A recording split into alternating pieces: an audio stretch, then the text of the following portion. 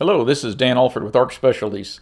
Based on our success with additive manufacturing of other aluminum parts, we decided to build a part that we could actually test. So we asked Mike to design something. He came up with this truss. Uh, according to finite element analysis, we ought to be able to support over a thousand pounds with this thing. So Mike's using the finite element analysis to apply a virtual load to a virtual part. You can tell the high stress areas by the color. He's exaggerated the distortion here. Obviously this isn't an optimized design, but it will suit our purposes. The next step is where the magic starts. We import Mike's 3D CAD drawing into Kevin's Robotmaster offline programming software and we generate the robot's toolpath. One thing we've learned is if we can avoid breaking and then restarting the arc, we typically get a better part. So in this case, Kevin's come up with a way to weld this part without ever breaking the arc. We've generated this program using Robotmaster, and in this case, we're demonstrating it with a virtual Fanuc robot. We're going to end up using the ARC 6 in our laboratory, but this is just a proof of concept.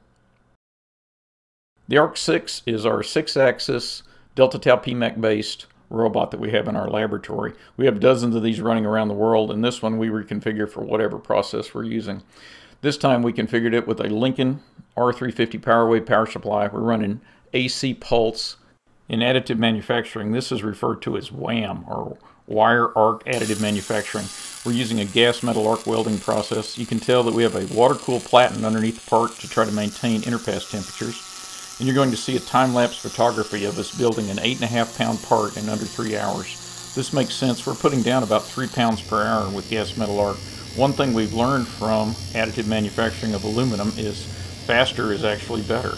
So what we built is an aluminum truss, 15 inches long, 7 inches tall, about 8 inches wide, and quarter inch thick. If we'd have machined this from a solid billet, it would have taken days and wasted a great deal of material.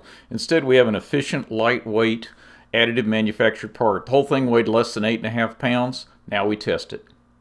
So we finished the truss. We calculated it should support a thousand pounds, so we need to test it. We thought we'd use a race car because we have one hanging around.